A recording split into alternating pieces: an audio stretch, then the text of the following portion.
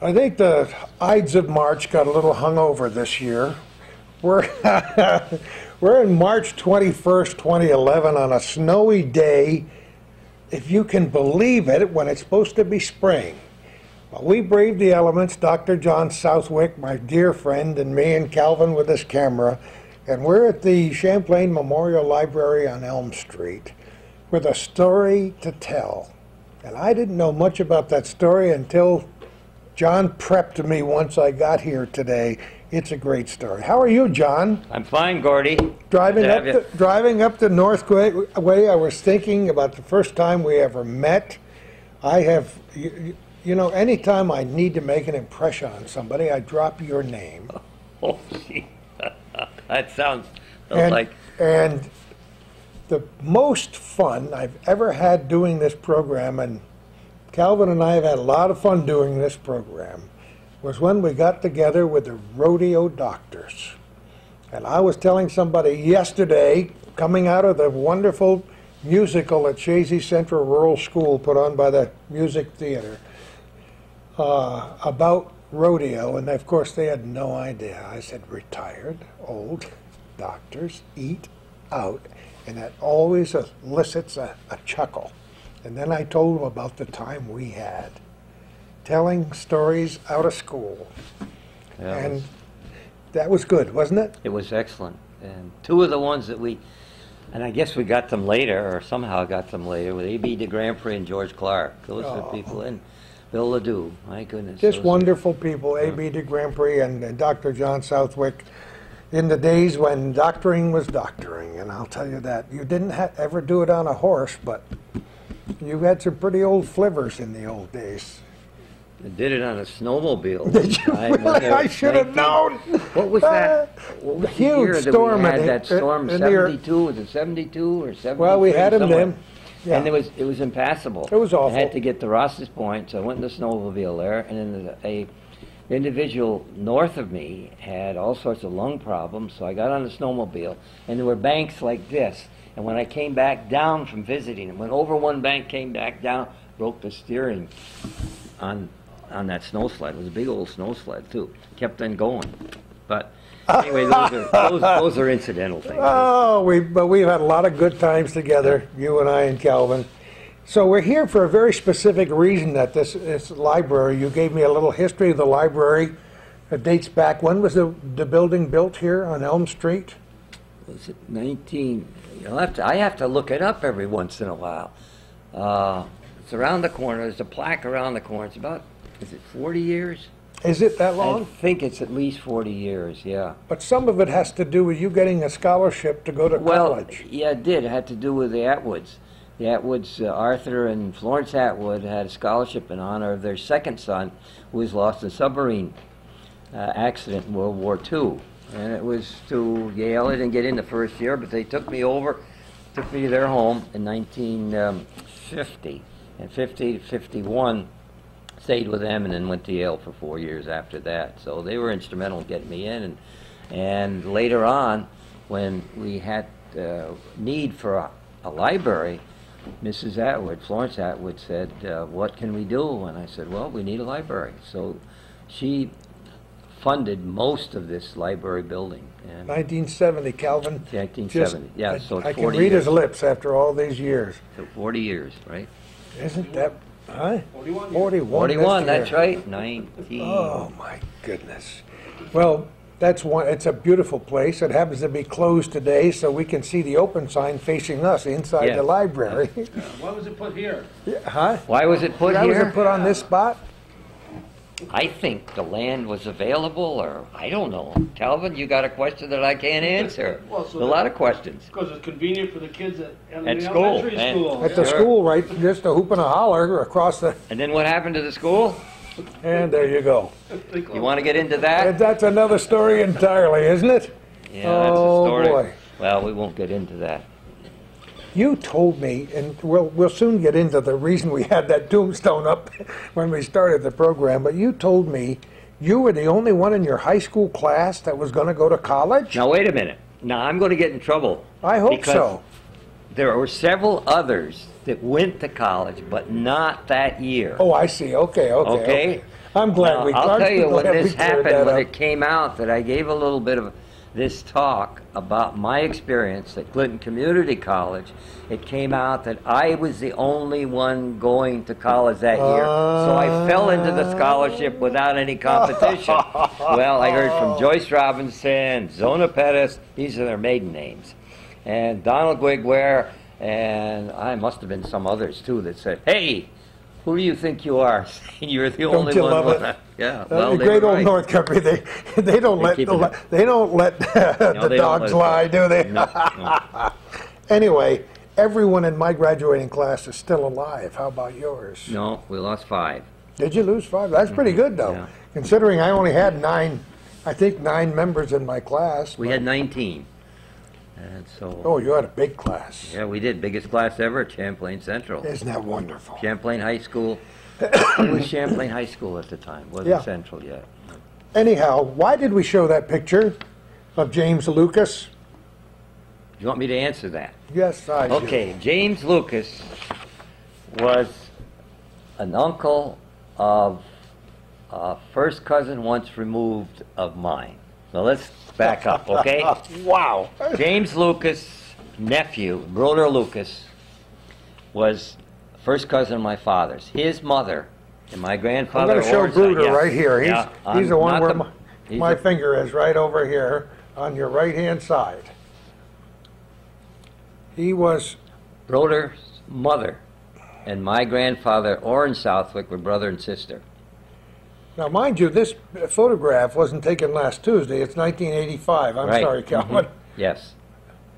Broder died in 1992, one week prior to his 90th birthday. You told me he was a hippie before the word was invented. Well, now that's my mother's definition. Well, Okay. see, he qualifies everything. Yes, you have to do that.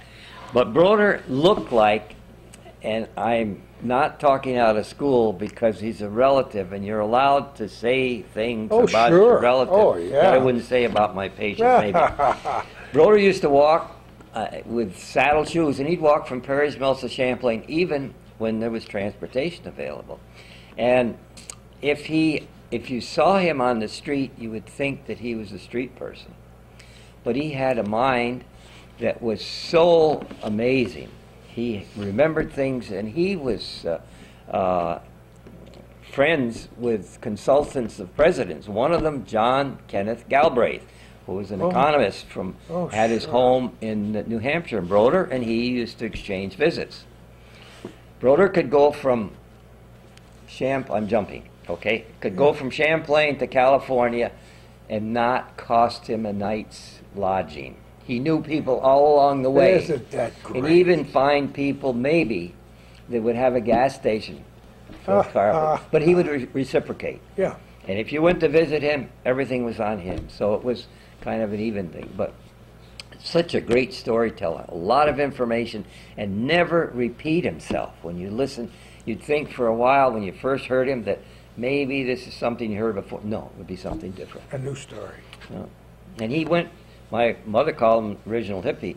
He started at Cornell, taught there, went to Little Rock, Arkansas, went to Salt Lake City, went to California, ended up in, in Hawaii for his final uh, teaching in Hawaii. That's not a bad circuit, is it? No, it isn't. No, no.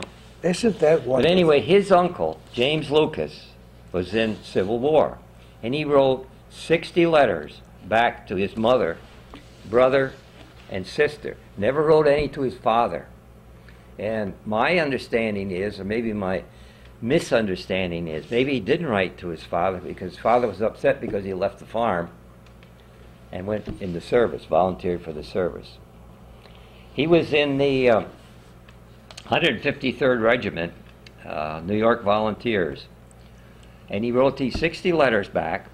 And about six or seven years ago, I got a call from Broder's son, Jim, who lives in Hawaii, saying Broder had a safety deposit box in Key Bank in Plattsburgh, number of letters there with other information and a ring, a gold ring and another ring, and he wondered if I'd open it up, see what was there. He didn't really care much about the letters, maybe. Told me to send him copies of the letters if I wanted to, So I called him after we got the letters, and these were the 60 letters that Uncle Jim, original letters, Uncle Jim wrote to his mother, sister, and brothers. So Jim never really wanted them, so we have the letters. Isn't that wonderful? And What a legacy. want- Yeah. I've been told we are not going to take the original letters out of the Oh, acid-free folder. Okay, I'm going to hold the microphone All up right, here so we okay. don't have a sound. You want to see these? You want these? Well, you got them all transcribed anyway, Got so them all we, transcribed, just to give so we don't idea have to what get the acid from our fingers on there. No, we don't. We know why we don't have the original photograph here today, too, that tintype. Yeah, we left that at home. you show I got that? I showed it. I've got a couple of those. okay. Not So of if him, you want, others. do you want me to go through these letters? I have 20 of them that I picked out that have interesting, I think, interesting sentences in about where he was, what he was doing, uh, and I'll start with the first one. Now, what, we started uh, in, from Alexandria, October 23rd, 1862, and they went till the end of the war? Yeah, well, no, to 1864, Two years. yeah, when he got killed. Oh, he g- did get killed. I had I was forgotten going to that leave part of that. it. sus- I was going to leave that suspense till the end, but Oh, uh, Too bad. yeah, he dies. You see, his date of birth is, or his death date is not on here, right? No, Okay. but it's here, So where's the cemetery? Baltimore, Maryland. It is. Yes.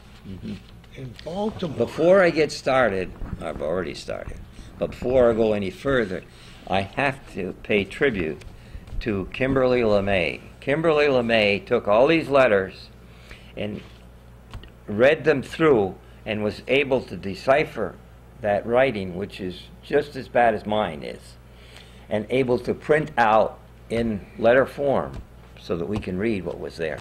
Because if you tried to read those letters, it would take you a long time to decipher what's in there. Some people have a special eye Right? for reading uh, cursive letters with people who couldn't write very well. Compared to my writing as a child, that's Right. that's Palmer method right there. That's I can write much much better now than I could when I was a youngster. So here, this is really well. Doctors aren't supposed to. Well, I've learned that I should write better, so I take my time now. Go ahead. how many prescriptions did you write? Over Oh my goodness, that's impossible to tell. But you know what's we're on the we're on the cusp of a new age. Actually, we're into a new age uh, with with healthcare, et cetera, et cetera, as you well know.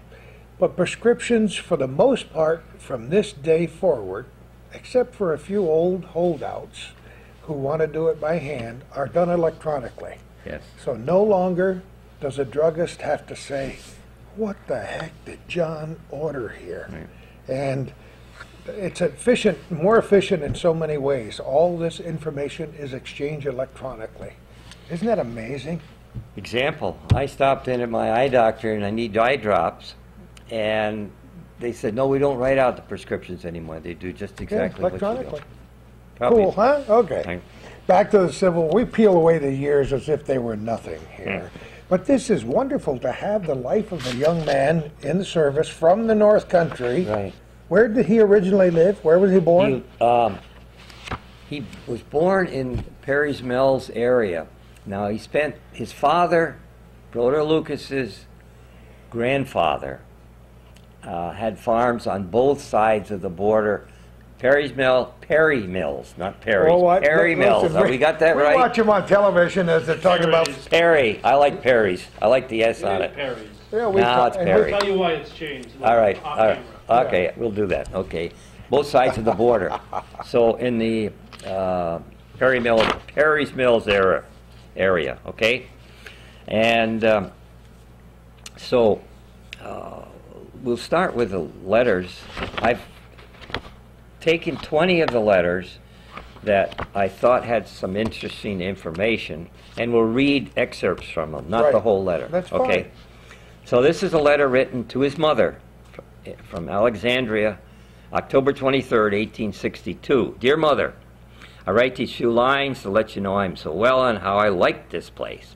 We started from Fonda, New York on Saturday night, got to New York Sunday morning, stayed there, T H A R E. But that's all right. That's the way you wrote it Sure. from uh, start, and there until Monday noon, then started for Washington. Now we're on Exal- Alexandria, 10 miles from Washington. We had good times. We stopped at Ar- Albany and had a good dinner. And when we came to Philadelphia, we had as nice a meal as I ever ate. And as I said the other night, I wonder how his mother felt about that. Yeah, that's cute. Interesting about his mother. His mother was the second wife, which very often happened back then. Wife dies in childbirth, husband goes out, got all these kids, gets another wife somehow or other. Of course. So he was probably, I think, from what I can tell, a his father, uh, his brother Fred, who was Broder's father, were half brothers. Okay, that really doesn't. Was he, was he a teenager when he, when when he went in the service? yeah, you he know? was 18. Yeah. Okay, just Okay, to get the yeah. perspective, right. We are in tents and on the banks of the Potomac. There are some 40,000 soldiers here in forts and tents. Wow. It's the nicest building that ever I, oh no, I'm getting on here. I'm sorry, got ahead of time. Uh, Okay, there's some 40,000 soldiers here in forts and tents. I've seen the Capitol of Washington. It is the nicest building that ever I expected to see. All our company's seen it.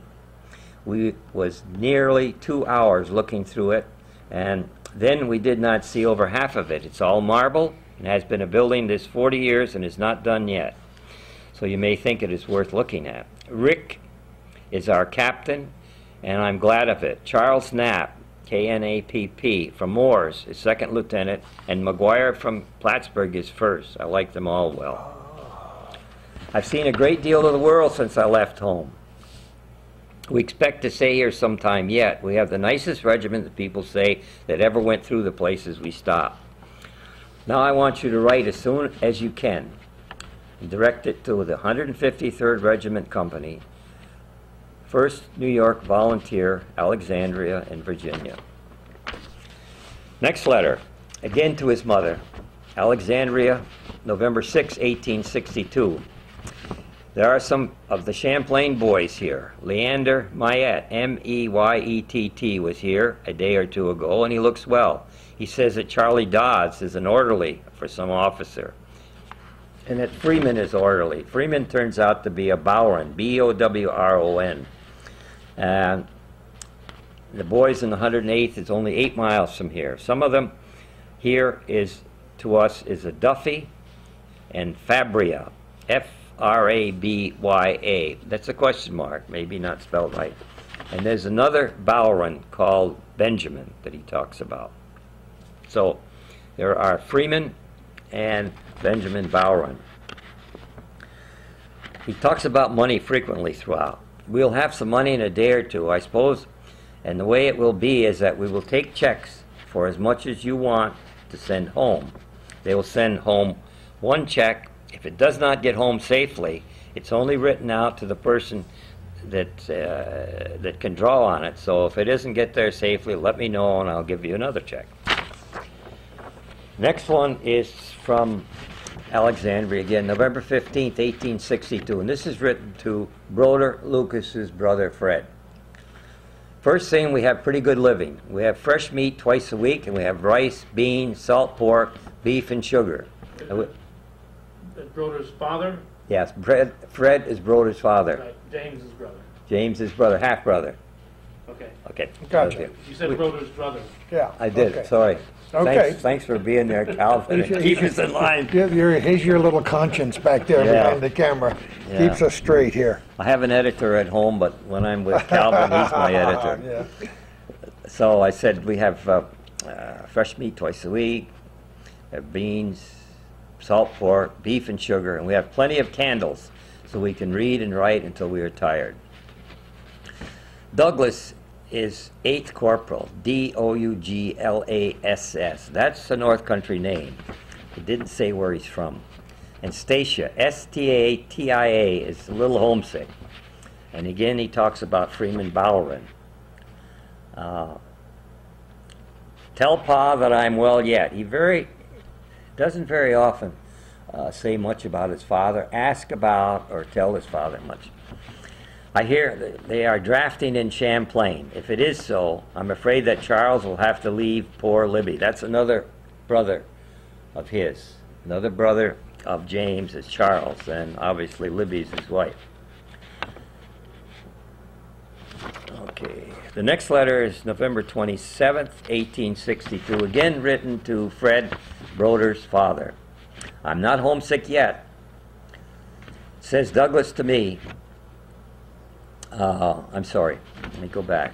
I and Douglas went to meeting last Sunday with a squad of men. There was a good organ. I, I got to be careful with this, but I'm going to say it anyway. There was a good organ in the church, and you'll know what religion he's going to. Good organ, but the rest was not so great. It was the Catholic Church. Ah, ha, ha, ha. Don't you love it? oh, good Anyway. organ, huh? Yeah. Oh, that's great. There are 104 of the 118 boys here at the same time, all from Champlain. They all look well. Uh, Brother Ben, that's Ben uh, in relation to uh, Freeman. And there's a Trudel, T R U D E L. And an Alex LaBlou, L A B L U, LaBlou, LaBlou. And Chubb LaFountain. Wow. Uh, and then he goes on to say that uh, he got a letter from uh, Harley Hubble, or Harley Hubble, that's another local person. Uh, got a letter from home saying that there were a lot of deserters in Canada. Oh, ho. Uh, Even back then, huh? right. And I tell you, Fred, it's not been very pleasant this week. A lot of mud. It rains harder here than to home. To home, huh? Now, the next one is December 23rd, 1862. Dear Mother, I tell you, we have had a good Christmas dinner and New Year's too.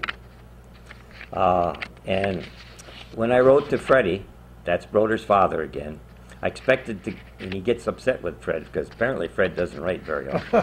when I wrote to Freddie, I expected to an answer from him. So I waited for it and didn't come. When Ben Brown came, I thought maybe you did not expect to write to me that week, so I thought it was all I was all right. Freeman and Benjamin Bowron was here again. Last Sunday we had a good time. One that I did not expect to see was Albert Cook, another Champlainer.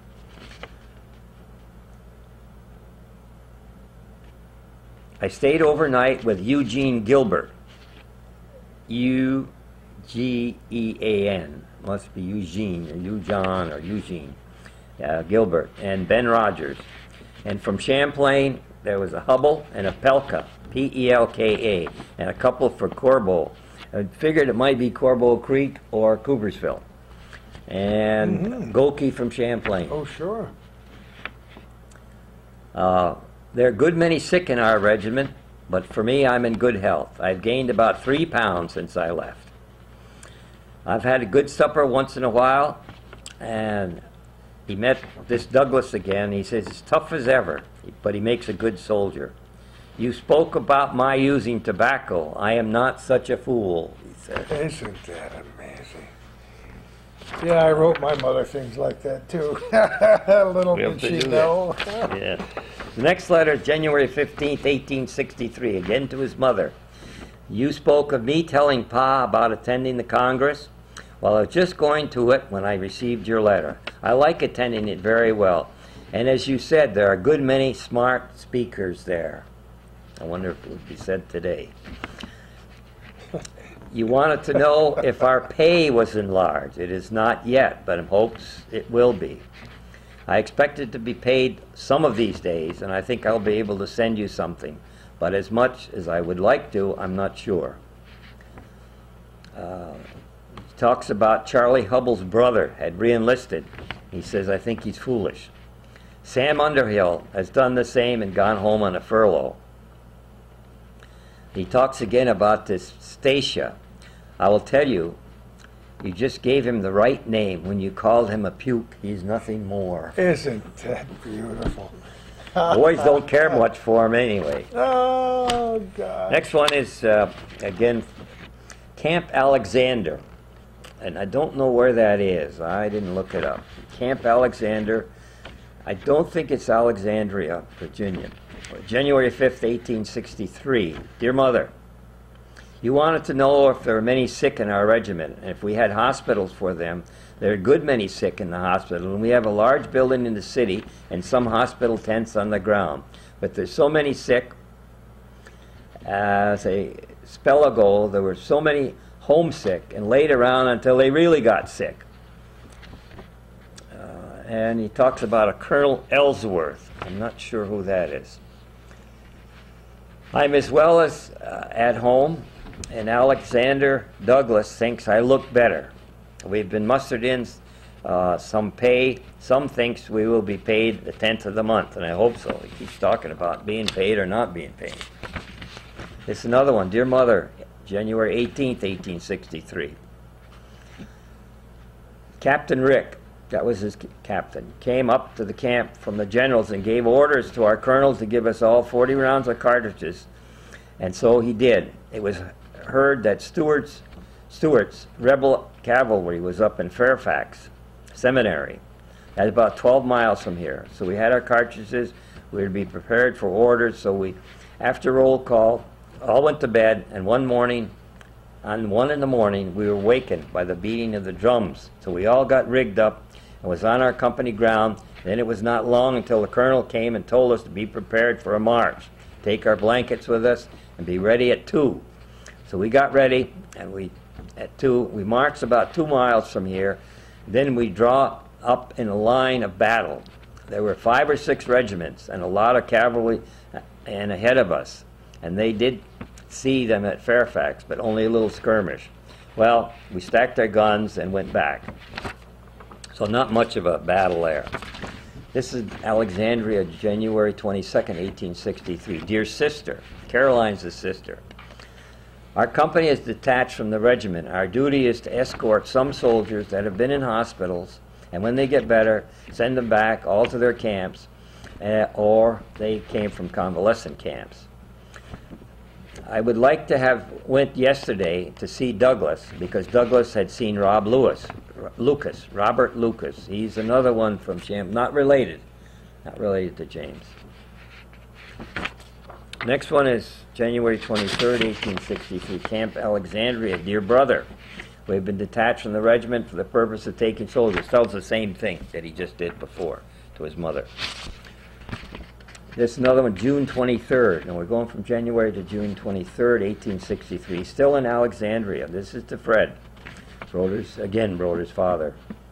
They were all fighting all around in every direction, and I was out in front yesterday with a first lieutenant and six men to take 200 men down to their corps, and I will tell you where we went to. It was in Union Mills, seven miles above Fairfax Courthouse. We went as far as we could by train, as it does not run any farther than Union Mills. And we found Hooker's headquarters. He likes Joe Hooker, the general, and Kilpatrick also. Fred, I saw George Dodds there and Sam Underhill. These are names locally. These are pretty, but pretty famous general, Hooker and Yeah. Stuart and all those people. Oh, yes, that, yes, yeah. You know, that, yeah. uh, those people who are students of the Civil War history will remember from Gettysburg. Yeah, you, so- t- you talk, I'm sorry to interrupt. Yeah. You talked about the rodeo club, and I didn't go this last Monday, but they had somebody there was talking about Civil War because, as you know, and everybody knows, we're starting the 150th Oh, sure. anniversary of the Civil War. Here's Alexandria, January 29th, 1863. Uh, so I went back well, I went June, back. So yeah, so we're back again. Because there's some other letters that I picked out that I thought had some interesting things. Okay. Our company was the best in the regiment every time we came to on inspection. Inspection. We have the praise of being the best. We have some pay tomorrow, as they are paying the regiment. We expect some pay tomorrow, as they are paying the regiments next to us. Alexander Douglas and Robert Lucas, uh, and our was with our sergeant that we knew that he was from Plattsburgh. Benny Rogers has been down to see us. Lieutenant McGuire that we said was from Plattsburgh or Keeseville. I think I have it somewhere else. And Lieutenant Knapp. The the war goes pretty slow. It is not doing very much nowadays. Back to March of 9 1863. Dear brother, Alexander Douglas and I were on duty today. Uh, I'll tell you we have a good orderly sergeant. He's the one that traveled a good deal. He knows more than ever Lieutenant Knapp. He doesn't think very much of this Lieutenant Knapp from Mooers. He said Lieutenant Knapp will ever know. Uh, First Lieutenant McGuire is a pretty good fellow, and he's from Plattsburgh. We got that. Uh, I've had very good times, as I, as good as be, to be expected. I will tell you what we get to eat. He's talking again about eating. We have fresh beef twice a week, pork the rest of the time, except when they bring in bacon. We have coffee and tea, some potatoes sometimes, molasses to eat, and rice. We live very well. If we don't live, it ain't because we don't get enough to eat. Ah, that's a great line. Here's, Is this Knapp, is he related to, I don't know, you know, he's probably, tell about the Knapps in the Southwick? yeah, yeah. Well, Could be, could be. could be. Tell- Tell us You about the Knapps in want, the you want, to Southwick. know, to know about the Knapps in the Southwick? of course we do. okay. Uh, Morris Knapp and Orrin Southwick, my grandfather, started uh, two of five people that started Champlain Telephone Company in 1903. Shortly after it was established, uh, Morris Knapp, my grandfather, bought out the other two. One, I think, I'm quite sure, was uh, Bill Kennedy, and uh, I'm not sure about the others. Written down somewhere, but isn't here. Sorry. Anyway, they bought it out, and we were partners for quite a long time until uh, Morris died, and then his son um, uh, and my father, Charles, became partners. And then later on, it's gone down the line to uh, my brother Dave and uh, uh, who else was in between? Oh, Edith Knapp. Edith Knapp became uh, the major partner uh, after her husband died. And then um, uh, presently it's uh, Trent Trahan, uh, and uh, principally that's it now. Edith's nephew. Edith's nephew, yeah. It's always good to have Calvin back there Oh, sure. fill us in. I would have brought Joanne, uh, but he knows. Well, then you he could have brought the picture if you'd have brought Joanne. Yes, She could have that's had right. carried I, have- I offered her a ride over here. Oh, did you? Okay, now we're back to Alexandria, April 1st, 1863. Dear Sister Caroline, Caroline said you hoped that if I had any part in the battle, I would not receive any injuries. I do not know yet, as I will be in a battle very soon or not. Some thinks we may stay here three months more. But fighting Joe Hooker says he will give the men 10 days march, and during that time, he will give them, meaning the Rebs, two fights if one won't finish them. I suppose he will try it soon. All the men like him well. Cyrus Kellogg, that's another name, has gone to his regiment yesterday. He says Emerson Smith is in a convalescent camp. Uh, both of those are local. This one's May 6, 1863. Again, Alexandria, written to Brother Charles. I will tell you that I get along soldiering very well so far, and all the Champlain boys are well. Charlie Dodds was here the other day and, with John LaFountain.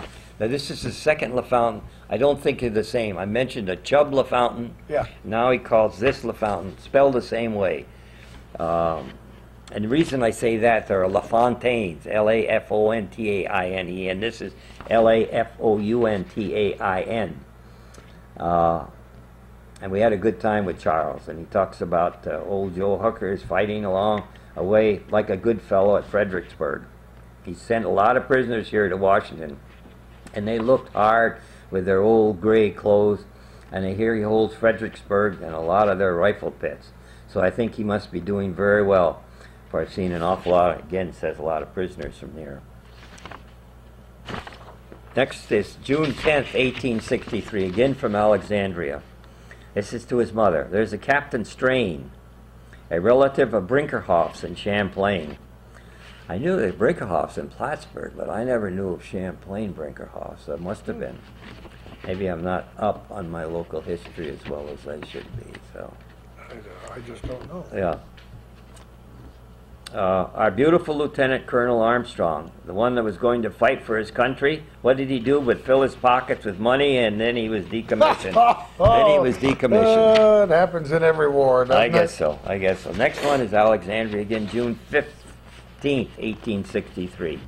He's going back and tell us his mother this time about because his mother wants to know more about who his officers are. Again, First lieutenant is John McGuire. He's from Keeseville. Second lieutenant Charles Knapp from Mooers.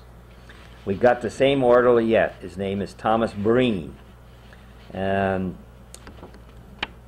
he knows more than the second lieutenant. That's the second reference he gives to not being very confident in Lieutenant uh, Charles Knapp. You wanted to know if the rebels had made that raid on our city? No, they have not. You wanted to know if I had hard work? Well, I will let you know that we have good times and we expect to have more. Next letter is July 1st, 1863, again Alexandria, Virginia. Well, I do not know, but I think it is right to change them so often. He's talking about being upset because Joe Hooker has been, uh, they've changed commanders, and Hooker's no longer the general. And he doesn't like that idea of changing commanders. Most rebel movements is made out of the way to Harper's Ferry. We have only four miles from them now, but I don't know how heavy a force they may have, but is though as to be not very strong, thought to be not very strong. But we'll find out about that. Next letter is August 8, 1863. Uh, sent, oh, uh, well, this is a letter to his mother when he hears about the redcoats convening north of the border and prior to the invasion of St. Albans, because the, the British thought that they could somehow help the Confederates and bring that war to a resolve that would be in their favor. I think they thought that if they helped the Confederates win, that the British would have more power to come back to our country and take it over again. That's what he says. You wanted to know how my health was. It's very good. I'm a little thin. I've had good times so far. You said that Charles paid $300 It's called conscription. He paid $300 to someone to take his place Oh, in the sure. draft. That and I told, common. yeah, well, I have two Southwicks that are buried up in Mooers Forks that did that. And the story is they hid up in a log cabin up there. Well, I don't know why they had to hide. If All they got to do is pay it. Pay it, and that's right. But he says, if there's another draft, he may be in the same fix. So that only gets him out of this present draft. Next Mi- is Mind you, three hundred bucks was a lot of oh money in my eighteen goodness, yes, yeah, yes. Big money. Oh. Uh, this one's Washington D.C., September first, eighteen sixty-three. Dear Mother, and uh, there was another one here, eighteen sixty-three. Now, really, what he's talking about here is things that have gone on back home about the weevil getting into the wheat field back home. Uh,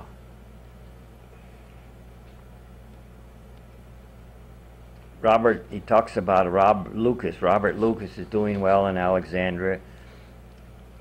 He's quite a money making fellow, whatever that means. I don't know. Okay, the next letter is to Fred, brother. Uh, no date on this. Uh, our regiment, dear, well, Fred, our regiment has got marching orders and probably we'll have to move, but I don't know yet where it will be. I don't think we will go with the regiment, but if so, we are ready to go. Well, Freeman Bowron has been over here to see us, and he looks well and tough as can be. If our company does not go with the regiment, Alexander Douglas and I are going over to Washington to see Freeman and Charlie. It's only an hour's ride to the, from the city of Alexandria. Next letter is March 4th. I wonder how far that is, an hour's ride. Well, if you, uh, you know, he must be on horseback, I would think, 'cause I- there were trains, but he talks about the short distances that trains went. Yeah, ten or twelve miles, maybe. Uh, well, yeah, if you can go 10 or 12 miles an hour with a horse, I suppose, yeah. Yeah. Yeah. Uh, this one is written from New Orleans. Now, he's traveled down the Mississippi, now he's in New Orleans. Uh, he and his regiment were sent there. We just left the boat this morning quite a bustle in the old building. I will not be able to tell you where we will be, what we will be doing this time. We are situated on the opposite side of the river from New Orleans at a place called Algiers in an old rough building. But everything is cheap and it's a very nice place, though I'd like the other side of the river. You know, he mentions money a lot, and then he mentions in one place he has to buy some of his clothes. Huh. And I was not aware of this. I suppose real historians of Civil War knew that this probably took place. We have nice views of plantations. I will tell you, there's some rich men around this part of the country. You may tell Pa that I think I have been something like a mile from a cow's tail at this time. Meaning, he, to my mind, he doesn't really care that he's that far away from the farm. It can be gone as far as he's concerned. And he talks about That's a, Douglas. and that's a good line. I'm gonna remember that, a mile from the cow's tail. A mile, mile from the I cow's love tail. Yeah. Uh, and then he talks about Douglas and Hubble again. The next letter is on April 18th, 1864. I've received a welcome letter last evening. and Thought I would answer it immediately. We are now at what we might call rough soldiering. Though my health is good, I'm not quite as fleshy as I was a few months ago. Uh, Charlie Hubble is at the Provost Marshal in New Orleans. Charles, this is talking about Charles's brother. We have been uh, on a roving expedition since 15th of March, and this is on the 18th of April. He wrote the letter. Some days we could march 16 to 20 miles a day, it happened that way on the 8th of April and the 13th. Uh, and the Army Corps, the, I'm sorry, the 13th Army Corps came on the rebels, and they had an awful long wagon train, and they got hold of them, and our corps ordered up to support the 13th, or it would have been bad luck. But I think that they might have ordered up our corps before we had stuck our tents. They could have saved us some time. Some of the regiments of the 13th are small now. Our corps, our corps fought, fought well, and that night we had been in our corps train. Uh, guard, there's a question mark. Our corps fought well, and that night we had been on our corps train and a question the guard to guard the regiment, or we'd been a fight, but retreated in the night so we could get another corps to support. And the Rebs said next day they were going to cut us to pieces. Well, we got as far as we were going that night, about eight miles from where we came from, when the word came that the Rebs were coming.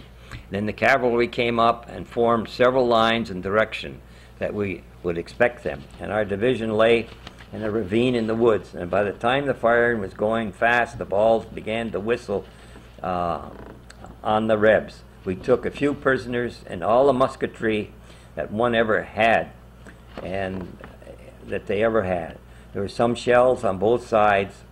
Our line was relieved at dusk. When the firing ceased, we got the best that day. Okay, the next letter is then steamship Crescent on his way back from New Orleans. Uh, dear mother, I with regiment, I with the regiment left Morganzia, Louisiana on the 1st of July.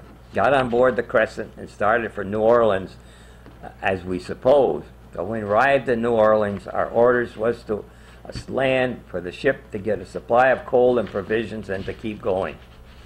It was Sunday, uh, that being that evening, started off, and the orders were sealed not to be opened until crossing the Mississippi River.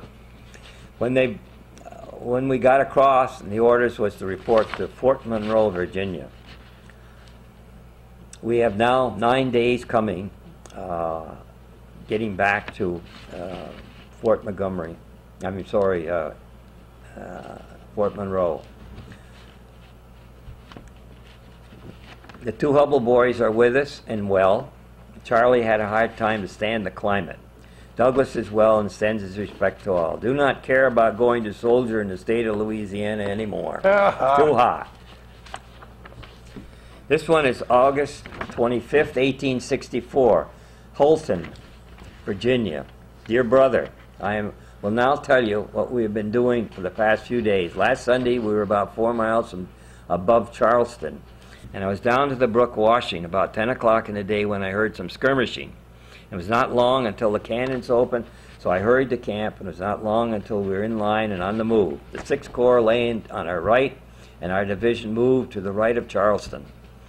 Then, in the rear of the Sixth, they fighting like good fellows. The rebels thought to surprise us and came full force on the picket. And the Sixth fell into line double quick and drove them back and held the ground, we being in the rear. Had breastworks. I told, uh, I really had forgotten what breastworks. You know what they are. Oh, sure. Yeah, they're like, they're, they're like um, uh, a channel with, uh, that are dug only to protect the breast, Yep. not a deep trench. Uh, I thought today that it was curious that Charles Brown, Carter, I'm sorry, Charles Carter did not come to see me. And he said, well, I found out later that he had been uh, injured and was in the hospital. We have two lines of battle here opposite the fair. Okay, now the next one is again from, this time it's from Harrisonburg, Harrisonburg, Virginia.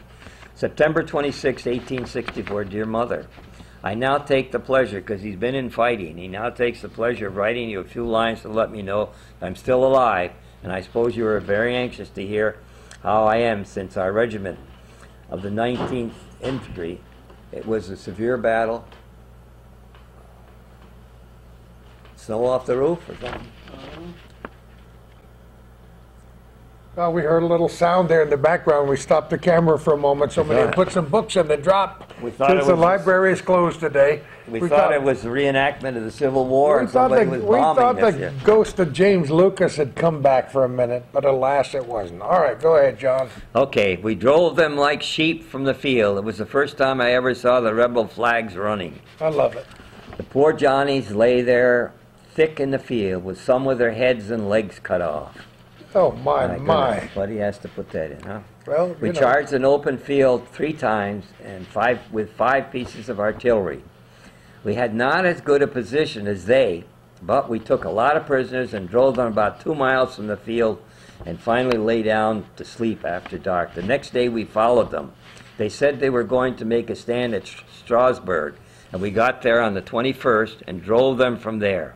After some skirmishing, they fell back to Fisher's Hill, where they had breastworks we built strong works that night, and the next morning went to skirmishing with them as they had breastworks in our front. About four o'clock, the order was given to charge them as it was a skirmish line, and they did with a yell. If you was to see them run to their second line of works, that was something. Then the Eighth Corps, the Eighth Corps was ordered up to the right flank of their works, while the Johnnies were watching them. Our corps and six charged to the left and center just as the sun was going down. About three quarters of a mile, the Johnnies run like sheep from their breastwork at Fisher's Hill. We took 23 cannons and a good number of prisoners. We followed them all that night. They had but one piece of artillery left. About one in the night, we got pretty close, and they, the rear guard, fired at our advance. We wheeled into line and went, so they opened a piece of artillery. I saw plain the flash and shells coming on the road. We sent and had two divisions of cavalry come to the front and after them. They soon opened on them. We kept on until daylight marching, when we came to a town called Woodstock, where we halted and stayed until 12 o'clock. And if you see the graybacks that hid in the night in the gardens and barns and woods, they were coming from all quarters in squads under guards. We came on about 12 miles and encamped. The cavalry was on ahead and had engaged them and fell back. So the next day, we came on to them about 3 o'clock. They receiving, having received some 5,000 reinforcements, took the rear, but we soon made them pick up. About 5 o'clock, our regiment relieved the skirmish line in front of the brigade and it was going on pretty brisk. We blazed at them, and they at us until dark, and we were the picket. We were the picket that night. I guess that means they held their ground and Yep. went after them. And I tell you, it was a cool one. The next morning, we was the skirmish line, and we saw two dead grays. We marched all day at a good jog and came to this town and encamped. There's over 1,000 wounded in hospitals in this town. We are going to Lynchburg. We are about 60 miles from the first battleground. We have a good general. I just want to stop for a Yeah. moment to reflect on that letter. That was an unpublished, in-person report, almost like a live reporter from the Yeah. battlefield would be today. And that description is probably not written down in any library. No. So you could go back and compare those, that letter, with a, a, somebody else who, who did get their report published of that battle and compare notes. Uh-huh. Um, thanks to uh, Civil War era photographer Mathew Brady, who took thousands upon thousands of photographs, because photography was well established by then, and his photographs have, have chronicled so many things. And you you talk, you know, you were describing the horrors of what he saw on the battlefield with people with missing heads and legs, and we've seen those pictures. And he talked about field hospitals, which I mean, they were they were bad enough.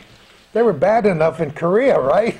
Never mind. And Doc, you talked about A.B. DeGrandpre during World War II. World War II. Mm-hmm. Imagine what it was like mm.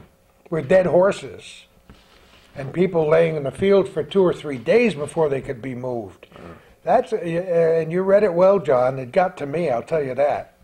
The, the Civil War, uh-huh. and I don't mean to, to to regurgitate this history over and over again, but it was a horrendous, horrendous, terrible war. And to hear a young man from our area describing what it was like, mm. Yeah, and to tell his mother, I'm still alive. still alive. Yeah. Wow. Well, and probably the last time And, no- going and nowadays, I, to, not to interrupt you, but nowadays, our boys are over there texting their parents and on the computer sending emails from wherever they are. Amazing. You bring up a point that kind of gets under my skin. A reporter will go over there for three days or something like that and come back with all this voluminous information that he has seen or she has seen personally and writes it up. And I say, how much can they see in three days or gather in three days, either not listening to people or just almost speculating this is what they're going to see because they hate the war. Okay, everybody hates war. So they come back and write these things. That, Well. It's amazing because they were not only coming back and writing, but they're reporting yes, from yeah. from like three, it's three- like yeah, it's from three miles away. well, uh, we saw this puff of smoke. Here's That- a guy who was right underneath the puff of smoke. and you stopped that just right because that's the last letter he wrote. Oh no, come on! it's the last letter he wrote. No. Oh my goodness! Well, how did he meet his demise? Can Okay, here we go. Yeah, Okay. This is written by um, Captain John McGuire, uh, Company 1, 153rd New York Volunteers, Cedar Run. That's where the battle was. It's actually Cedar Creek. Cedar Creek. We've stopped there. Steve and I and son Mark stopped there. And it's outlined, and it's interesting because the trenches, the breastworks are still there. You can see mounds where they had their own breastworks. Yeah, breastworks, I I mean, Go ahead. we might have misunderstood earlier, because breastworks weren't always trenches. No. Breastworks were sometimes above the ground. That's right. Yeah. But well. I, yeah, I was Yeah. wrong in saying that they were simul, they were shallow trenches, but they were above Yeah. ground. Yeah. Yep, okay. Yeah. Go ahead. Yeah, you got that right. You Thank got that right. Anyway, uh, that's interesting, and it's right off Interstate uh, I-81, Northwest Virginia, Cedar Creek, and it's hard to see, but if you go off there, you can see. As I said, the breastwork. There's some. Uh, there are some plaques there describing what went on. But that's where this battle was, Cedar Creek, Battle of Cedar Creek. This is from, as I said, Captain John McGuire. And dear Mrs. Lucas, your letter of the 28th. Now this is November 7th. So this letter here was September 26th. So from September 26th, when she writes a letter on the 28th, he's already dead, but she doesn't know it. And you'll see this later on. Your letter of the 28th of last month to your son James was received by me yesterday.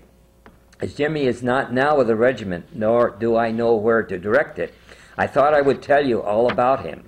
He was hit with a musket ball in the back of his head and fell forward on his face on the morning of the 19th of October. I thought he was killed. The rebels were close on, and we were, we were retreating at the time and did not dare stop nor let any of my men stop to pick him up for fear of being taken prisoners.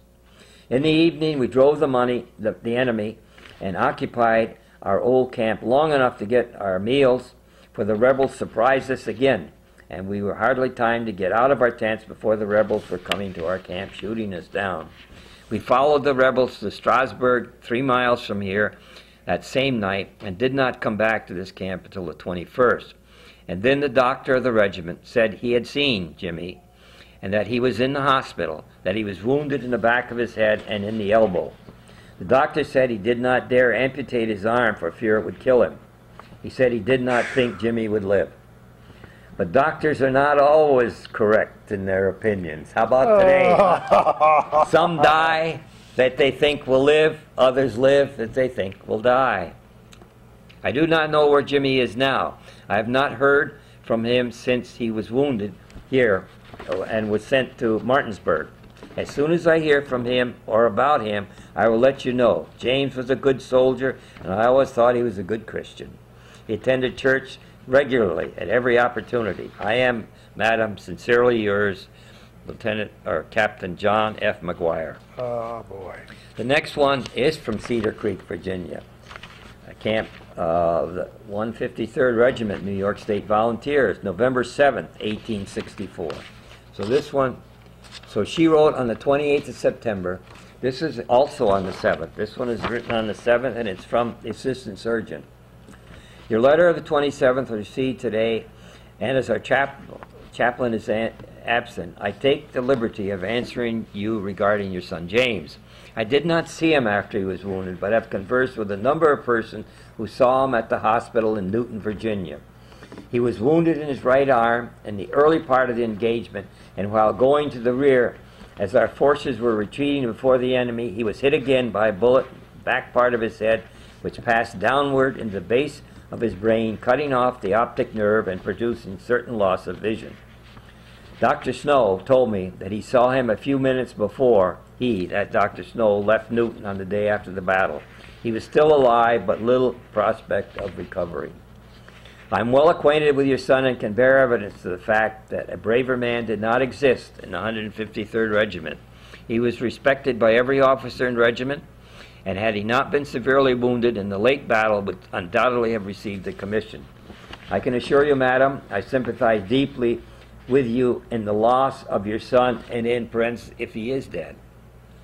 I suppose he doesn't know for sure, but anyway, he puts that in parentheses. If he is dead, and I have no means means of knowing at present, will make every effort to gain intelligence of him. I was wounded myself and taken prison early on the fatal morning of the 19th of October.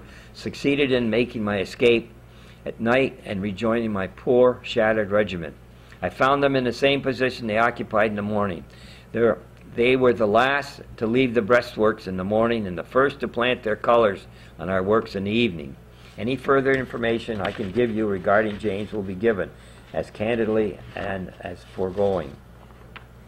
Wow. The, the next one is, uh, now we go from November, yeah, November 7th to Feb, Feb, so February 2nd of the next year. So she's really, I don't think there's any evidence to know that she was aware of his death, So we're three Definitely. months later. I think. Wow. But anyway, this is uh, written by the chaplain.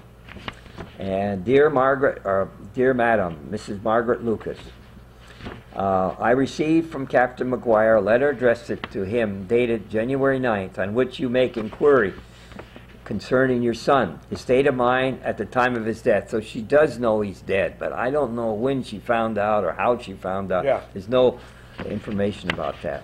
You also state that you wrote to the chaplain of this regiment and received an answer from Dr. Sweeney. That's the assistant uh, surgeon. As I was absent or on sick leave when your letter reached the regiment and was unable to return for several weeks, I presume the doctor forgot to mention to me on my arrival that it had been received and answered. This fact did not come to my knowledge until I learned it through Captain McGuire's letter. I'm well acquainted with your son and was with him during the Battle of Cedar Creek, and immediately after the engagement was for several days at Newton with our wounded. I helped carry your son to the hospital, and it was my privilege to do all in my power to render our wounded comfortable and minister to their wants. Your noble boy was apparently resigned and bore up under his suffering with a heroism which proved that he was as brave in the hospital as upon the battlefield. Hmm. During the three days and nights that I was with them, I found the surgeons every way in their power providing for the wants and toiling earnestly and faithfully in addressing the wounds of those under their charge. Your son received every attention could be given him, and I was greatly grieved when the tidings of his death reached me. Wearied and sick myself, and compelled soon after the battle to return to my home to recruit my health. For this reason, I regret I can give you no definite information concerning his death and state of mind at that time. Of this you can rest assured that he was faithful in the discharge of his duties as a soldier and beloved by his companions and associates throughout the regiment. We deeply mourn his loss. Trusting that he who orders all things well, who heareth his children when they cry, will pour out upon you his richest blessing and bind up your wounds and cheer and comfort you in your deep bereavement. That's the last It- letter. But isn't that amazing? Yeah. Isn't that incredible? Somewhere, John, there are records that might tell the exact day he died, because you don't Well, I have got it. I Oh, got you it. do? Yep. Oh, yeah. did I And Kimberly, known. Kimberly LeMay. I'm going back Okay. to her. Okay. And she has written for the Lake Champlain Weekly three segments of this Oh, battle, yes, oh, yeah. and that was back. I brought them with me. Uh, he died on the 19th of November in He a did. Baltimore hospital. Okay, Oh. so there you go. And That's, that's wonderful. I want to pause for just a moment and collect our thoughts before we wrap it up, because this is a lot for me to assimilate in one sitting, because it's, uh, it's not unheard of, but it's almost unique to have that many letters 60 letters, isn't from, from one person surviving today. I mean, we all see the Antiques Roadshow and some of these other things where we have an occasional tintype and some memorabilia uh, and uh, a couple of letters, but I don't think I've ever seen that many all in one collection. So the fact that he had that in that box of his in the ba- in the bank, thank God he was a pack rat like you and I Oh. are, and that we have that to talk about today, because isn't that an amazing way to uh, close the gap between 1864, 1865, and 2011? Amazing. There's, there's pathos. Yeah. There's a little humor early in those letters. Yeah. There, wouldn't you love to have met that kid? Oh yes, yeah. Well, you really and we talked about interviewing Broder Lucas because he, I envision him as being a little bit like his uh, his his uncle, although probably not. Yeah, I would say he was as certainly as uh, uh, as you know as brave and willing to take a risk. Uh, but uh, I don't know whether he would have been. Uh, Broder would not have been a um, would not have gone to war. Because back then, you know, a lot of these fellows from the farm went to war for the excitement of it Oh, of course they did. And not thinking they weren't there because they hated slavery. I shouldn't say that, but that was the truth. Absolutely true. And they weren't there to save the Union. They were there for the excitement and whatever was going to happen, where they were going, and uh, and but then to see all this, what kind of an impact that must have had on them. It is a treasure. It's a, an historic treasure for you to have all these things. We're going to talk a little bit more about it in just a moment. Okay. Recently, there was a survey conducted uh, of the man on the street. And the vast majority of men, women, and children on the street in America's cities have no knowledge of how our government is put together, what the, what the uh, Constitutional Convention was all about, what is the Bill of Rights, who is the Vice President of the United States, Who cares? the America. Is still Spiro? Yeah, why not? America failed. The vast majority of people don't know and don't care about anything about politics and about our government and so on. And it proves, it proves a point that I want to make about the Civil War. Um, a lot of school kids today have no idea what the Vietnam War was all about. Certainly don't know what the Korean conflict was all about. And so, how can they expect it to know very much, except what they might have seen on television about the Civil War? I think people who watch this program carefully today are getting the picture. It was a horrendous war. It was a horrible war. As a doctor, you can appreciate what how terrible it was and how many people died with brothers fighting brothers, as they say, the North against the South in our Civil War for all the reasons you know. And so Calvin made an excellent point when you were reading those letters from commanding officers back to a mother here in the North Country, saying, you know, what an outstanding soldier your son was, how how I, I you know I followed him up to this point in time, then I lost track of him, then somebody picks up the and carries and so on. So with all the people that were killed in that war, to have a commanding officer write those letters, to have those letters, and to have them survive and still be extant in the year 2011, that's that's a pretty nice thing, John. Don't you Yeah, think? yeah, It's amazing that they could do that. Uh, uh, You mentioned that face to face combat, and how many were killed in, in, in one day? Oh yes, just in, Oh, in, in all those battles. Just I mean, just how to- to identify them, and some of them, like it says here, unfortunately, heads off. sure. Did they have Yeah. dog tags back then? No, I don't think they did. uh, Yeah, so that- there was. I'm not certainly not aware of would them. you know? How would you know how to identify them? You didn't have a dentist around telling you what the Yeah. teeth looked like. Maybe they didn't have teeth. Yeah. So, how did they identify all Yeah, those it was people? horrendous. Oh. And yet there are rec- records that are meticulous enough that might surprise you.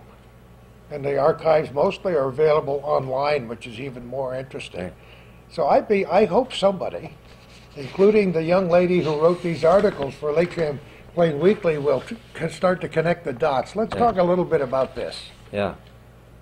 Tell me about it.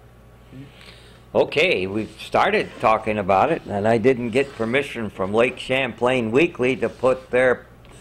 Magazine on She'll uh, love or their newspaper. I guess she will. Caroline, Caroline won't catch. She'll love it. anyway, that um, Kimberly, as we've said, LeMay wrote articles about the 153rd uh, Regiment of New York Volunteers, of which, uh, well, James Lucas was a member of that. And she focuses on him, but also on the battles that they went to and the struggles that they had to deal with.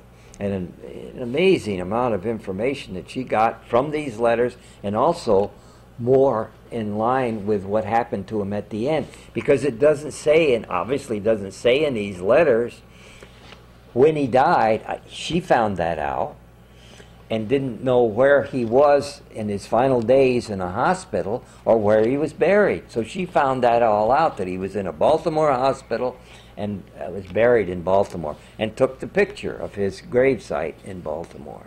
Isn't that neat? Isn't that? And s- such a lot of, uh, uh, I say work. I'm sure some of it was work, but and, and enjoyment that she got out of this. I hope, and it was so helpful to us to see that in writing, to take these letters, and to literally, um, it's it's like taking a language, written some other language, and writing it, uh, typing it in readable words. She wasn't able to do all of it, but most of it. Amazing person. Thank good- goodness for people like that. What's Yes. this other one? Is this a follow-up? They're all three That's all- different. She wrote it three different she did weeks. Three, oh, Three I different see. weeks. Okay. Yeah. Give, give, this, this, But, this is one? available online, so give the dates. Okay, here's the Oh, date. The first date is First one uh, is April, uh, March twenty-sixth, April first, two thousand eight. Volume eight, issue thirty-five. And then Now, right, it is online. You can go through this paper page by page. and then April second, two thousand and eight, volume eight, issue thirty-six, and the last one is April 9th, two thousand and eight, volume eight, issue thirty-seven. Congratulations to the, uh, to the people who published this paper Yes. and to Caroline. As a Canadian citizen, to be interested enough in America, is she, She's an American citizen who lives in Canada. who lives in Canada, because her husband, her husband's Canadian, all right, I got that right, to be interested enough to work. I mean, she's a hardworking gal, and she drives down here every day to go to work and goes to all the Clarenceville. all the, yeah, all the meetings and and uh, cares about history. And it's nice to have a publication like this that there are historical stories in this paper every single week. And I, I insist that my wife shops long enough in this certain grocery store so that I can read the paper from one, from the front to the back every single week. And then I take it with me so she can do the crossword puzzle at home, you know? But isn't it nice to have people like that who care? Yes. And like this young woman who cares enough to do this, and, and to have a, to have an editor in a paper that says, go for it. Because that's, this ties all, like I said, connecting the dots, you know what I mean? It's, uh, i- i- it is, and it's, it's, it's good that somebody has a job like this, but it's an endeavor. It's a joyful endeavor. I can tell just by the way she Yeah. writes that she cares about this and has put it on paper. Are there any pieces of this story that we haven't, that we, any blanks in this story that you hope to fill in the future? Or somebody who might be watching this program who knows something that you'd like to add to this story, John? Or you think Well, if there are any other relatives in this area, and we certainly know what he said about a hundred uh, of uh, Champlainers that were in or about his regiment.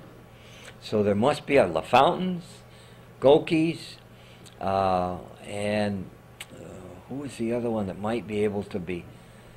I'm not so sure. Mayette, Christian Mayette's, but the I'm not sure that that's the same. And Hubbles. Uh, what was the other one that was a relatively well-known name in the area? I guess that's about it. There are others. Oh I mean, yes, there has to be. You know, we're, we're, uh, in a sense, we're gadflies on this program. We get people fired up about something and they go and look at the drawers and see what old letters and pictures they might have. And we always invite people to respond, either to you or to Calvin or to myself and say, "Look, guess what I got over here? I got 78 letters from the, wouldn't that be great if we could find, tie another young person Right. together with these letters? I, I have never seen that many in one place. Who was it that I was telling this about that says they have a relative that has uh, had letters from, I think it was Bob Bowron. Bob Bowron's wife or somebody in their family has letter, a letter or some letters from Civil War. I'll have to ask That him would again. be wonderful. As always, John, it's so great to see you. Let me tell you one story about Clarenceville. Oh, we Got need time? another story. Yeah, we got it. We got it. brought up Clarenceville. Clarenceville was the site of a movie about the Dionne quintuplets. Quintuplets. This was back in 1992, I think. And you got a call from a fellow who was putting the movie on. They said, "We need some old cars over here. Would you bring some old cars over?" So I said, "How many do you need?" Well, bring over as many as you can. So we took six. We took six old cars over there, and one of them is actually on the front part of the second segment of that movie. Oh, Uh, really? Yeah. it was, uh, who was the main? I can't even remember the Mo, Bo. Uh, uh, I don't know.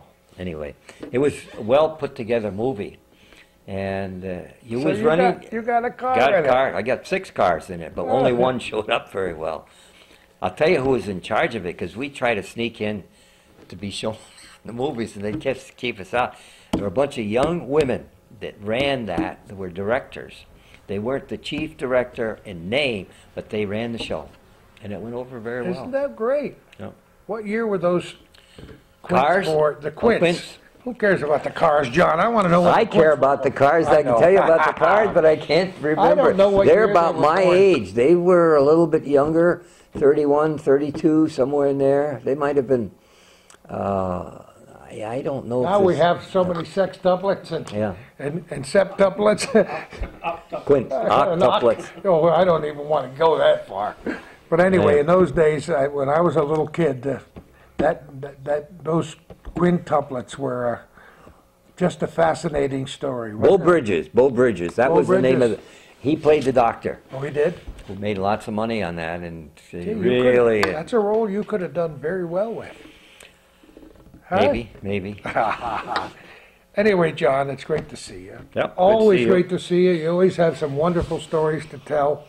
Tell your wife you didn't, you, you'll never one-up Gordy Little. Don't you No, I ever- know that. Ever worry about No, that. I. I can't wait to see what it'll be like where we meet again to- and what subject we might be talking about.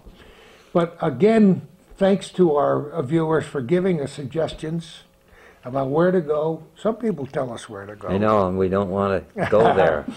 And some people give us very good suggestions. Some people show us photographs and letters. We love to talk about one-room schoolhouses. We did a recent show up here. Uh, whatever people want to watch, please tell us about it, and we'll try to rearrange our shows. We try to do at least one show a week. And for Calvin and me, it's going on 14 years, isn't it, Calvin?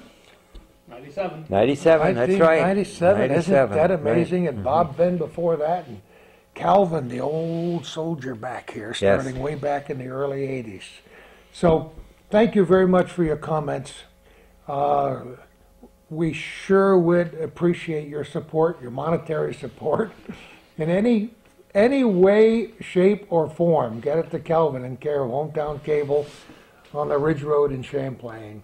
Thank you all for watching this program and for telling your friends about it. And don't forget, it's available at Plattsburgh.com and at HometownCableNetwork.com. My daughter-in-law law of mine up in Saranac Lake sent me a an email this morning, urgent.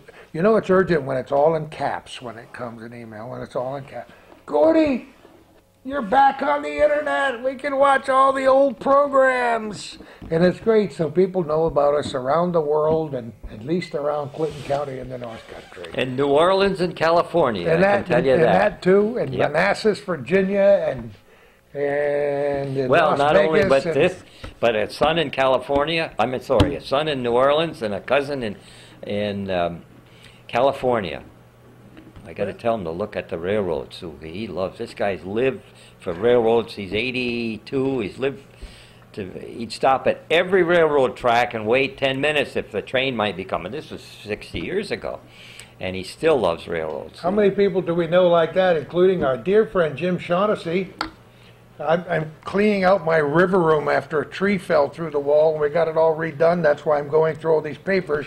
A nice note from Jim Shaughnessy and a postcard. Thank you all for coming over. We kept the man in his room for six hours, wouldn't even let him go to the bathroom because we were afraid he'd leave us. We made him talk about railroads and every one of his railroad books, and that's at least 10 years ago. Can you believe that? So I found that card and I saw that he had signed it, his signature on that, and I said, whoa, I got an autograph of Jim Shaughnessy. So we know lots of people who love railroads, as we all do, because you and I were brought up in the steam age, right? Mhm. All right. We could go on. This could be another whole tele- uh, television show. In the meantime, who knows where we're going to be next time, folks, for our little corner